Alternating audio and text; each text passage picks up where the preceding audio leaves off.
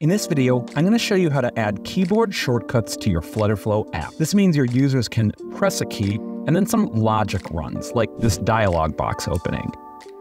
Now, keyboard shortcuts are just a type of trigger, and they're defined on the root widget in the Action Flow editor. And this can be the root widget of a page or a component. And I'll show you an example of a component in a minute, but let's start here. So let's say I want to have a keyboard shortcut so that when the user presses the C key, it opens up a new issue. So I'm on my root widget right here, and let's go into my action flow editor, and you can see this option right here on shortcut press. So let's select that, and now Flutterflow is waiting for me to type a key or combination of keys that will execute this launch. So I'm going to press the C key and accept it. Now I just have a normal action flow editor where I define whatever logic I want executed. Now, if you press the wrong key and want to redefine which key it was, you just come up here and type a different key. But we're good with this. So let's just add some simple logic right here. I want a custom dialog. There we go. And I've got a component set up already called new issue dialog. Beautiful. I want this aligned to the top and that's it. Let's go test it out.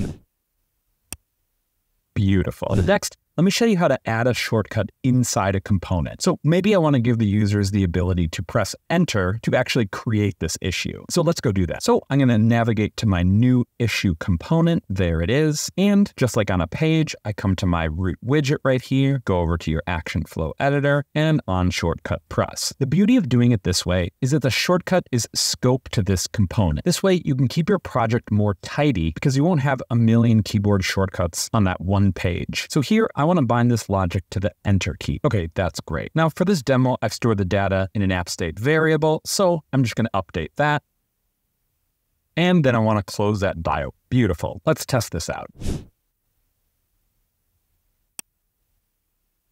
Okay, great. Next, let me show you how to define a keyboard shortcut with a combination of keystrokes. And to do that, let's introduce a navigation mode. Like maybe I want to be able to navigate through all of these issues. And the first step is to design a navigation mode. Now to track that, we're going to need a variable. So I've defined a Boolean right here. So when it's true, we're in navigation mode, and when it's false, we're not. Next, let's go to our home screen. We'll define another keyboard shortcut here. So let's add another on shortcut press. And this time we're going to do command enter and accept. And now we just want to toggle that variable we set up. So we're looking for an app state variable and we're looking for this navigation mode. We want it to toggle so that this control or command enter both turns it on and turns it off. Okay, so the navigation mode is on, but we haven't indicated that to the users in any way. Now we're going to do that by adding a purple border similar to this around each of those issues. But to do that, we're going to need a variable where we hold the ID of the issue that's actually selected. So let's go add that variable.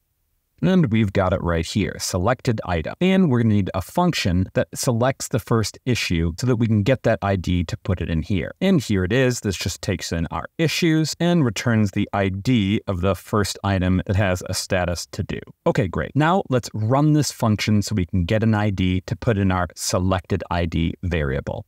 So let's come back to our app state variable. Let's add another field. It's our selected item. Let's set the value and we'll run our function we called find first item and we'll pass in our list of issues. There we go. Beautiful.